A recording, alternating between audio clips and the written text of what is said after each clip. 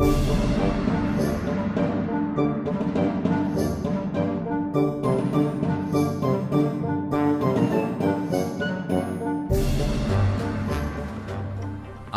und herzlich willkommen zur fünften Wochenshow World of Warships von und mit eurem Hoder. Ab jetzt immer freitags. Und los geht's mit der offiziellen BOWS Website und zwar mit der Dreadnought Challenge. Die läuft noch bis zum 25. Juli und ihr könnt da etliche tolle Preise gewinnen. Sowas wie 15 Tage Premium Spielzeit, 3 Liegeplätze und 10 Wirtschaftsflaggen etc. etc. Was müsst ihr dafür tun? Ihr solltet mit eurer HMS Warspite oder eurer USS Arizona ins Gefecht gehen und so viel wie möglich EP erfahren. Ihr könnt allerdings auch gewinnen, wenn ihr diese beiden Schiffe nur im Gefecht trefft und wahnsinnig viel EP zusammenfahrt. Einsenden müsst ihr die Gefechtsergebnisse nicht, die werden von Wargaming direkt aus den Statistiken ausgelesen. Tja, ein neues Ausbildungslager gibt es auch. Versenkt sie alle heißt das Ding. Und die neunte Regel des Ausbildungslagers lautet, konzentriert euch darauf, Schiffe zu versenken und es geschieht schneller als ihr glaubt. Versenkt sie alle. Ja, einer meiner Lieblingswahlsprüche. Wie ihr seht, besteht das Ausbildungslager wieder aus drei Teilen und ihr könnt bei Erfüllung wieder mehr oder minder nützliche Preise gewinnen. Die deutschen Schlachtschiffe kommen bald. Eine Kurzmeldung von Wargaming, wo ihr schon immer mal den deutschen BB-Baum so halbwegs einsehen könnt. Allerdings ist der Zeitraum bald doch etwas nebulös. Handelt es sich dabei um den Zeitraum bis zu meinem morgendlichen Toilettengang oder geht es eher um 12 Zillionen Dekaden, also in etwa der Zeitraum, wo das Zentralgestirn unseres Sonnensystems seinem Ende entgegengeht? Jeden Fall habe ich in irgendeinem Interview gelesen, dass die deutschen Schlachtschiffe frühestens zur Gamescom kommen werden. Frühestens zur Gamescom? Moment, frühestens? Habe ich das richtig gehört? Ich hoffe, ihr macht keinen Rückzieher und das Ding verschiebt sich wieder nach hinten, Wargaming. Naja, zumindest macht die neueste Nachricht da etwas Mut. Da geht es nämlich um die deutschen Zerstörer der Navi-Klasse. Und zwar ist das ein ganz hübsches Video, wo dann doch einige wirklich, wirklich interessante Daten rumkommen. Schaut euch das Ding einfach mal an und hoffen wir mal, dass das doch ein Hinweis auf den deutschen Baum ist. Jo, und weiter geht's. Der Eventkalender ist dran und zwar vom 16. bis zum 19. Juli haben wir das Wochenend-Special Flugzeugträger im Fokus. Ist noch nichts genaues bekannt, aber ich denke mal, die Dinger werden einfach wieder billiger sein und für alle, die Flugzeugträger lieben, ist das doch wirklich mal eine gute Nachricht.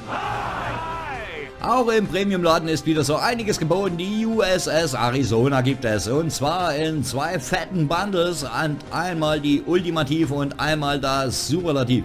Ja, da ist noch jede Menge kleines Geschrabel dazu. Bei Superlativ gibt es sogar noch eine einzigartige Flagge. Wem das alles zu viel ist, der kann dieses Schiff natürlich auch noch normal erwerben mit nur einem Liegeplatz für 25,40 Euro. Ich würde mal sagen, ist auf jeden Fall kein schlechtes Angebot, da die USS Arizona doch wirklich ein hübsches und nettes Schiff ist. Damit kann man richtig was reißen und auch so den einen oder anderen Credit hereinfahren. Ja, im Forum war ich auch mal wieder unterwegs und da ist mir ein Beitrag aufgefallen. U-Boote, BG will uns veräppeln. Ja, da bezieht sich einer auf eine Meldung, die, sagen wir mal, etwas zweideutig ist.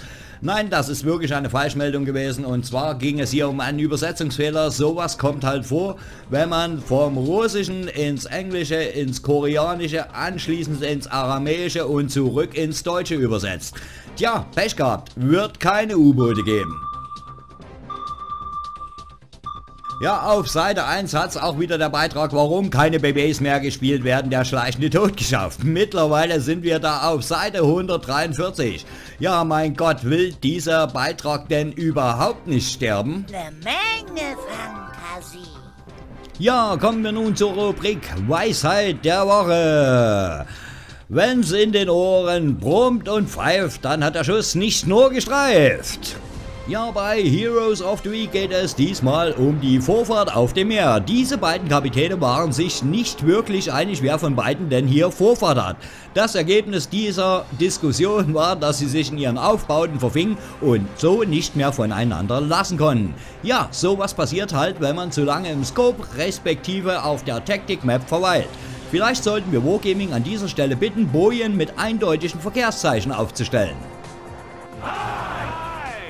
Und hier kommt der Hotshot of the Week. Ja, ich war in den gewerteten Gefechten unterwegs und da läuft mir doch Prominenz über den Weg. Aaron in seiner Nagato, nicht lange gezögert, nachgeladen ist.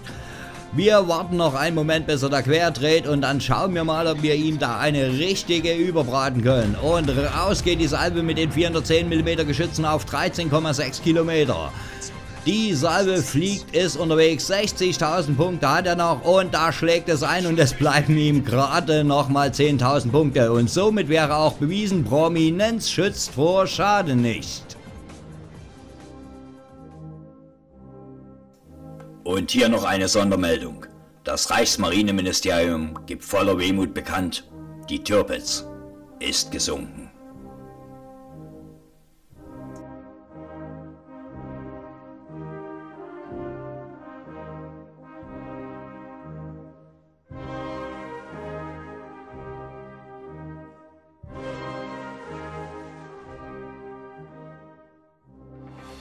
Tja, und das war sie auch schon wieder, die fünfte nicht ganz ernst gemeinte Wochenshow World of Warships. Ich hoffe, wir sehen uns bald wieder hier auf Hoda TV. Und bis dahin, denkt immer dran, versenkt sie, bevor sie euch versenken.